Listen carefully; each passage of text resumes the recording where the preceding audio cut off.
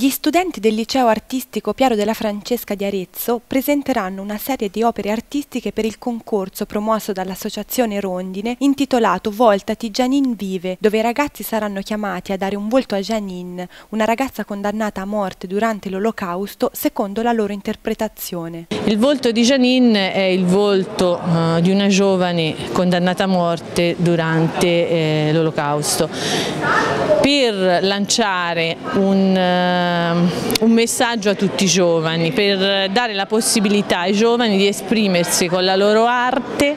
eh, dando un volto, dando una risposta all'indifferenza. Questo è l'obiettivo praticamente del concorso. Vogliamo creare una società sana, siamo giovani, dobbiamo pensare a eliminare la guerra, non solvere i problemi con la guerra perché i problemi saranno sempre perché abbiamo pensieri diversi, eh, siamo diversi, ma dobbiamo scegliere modo, il modo giusto per eh, affrontare eh, questi problemi, questi conflitti. Le opere verranno esposte in un luogo simbolo della città e nel mese di maggio sarà organizzata una cerimonia di premiazione per i primi tre classificati. Tutti vengono da zone di conflitto, eh, si trovano a convivere non solo con il loro nemico, quindi l'israeliano con il palestinese, piuttosto che il serbo con il bosniaco,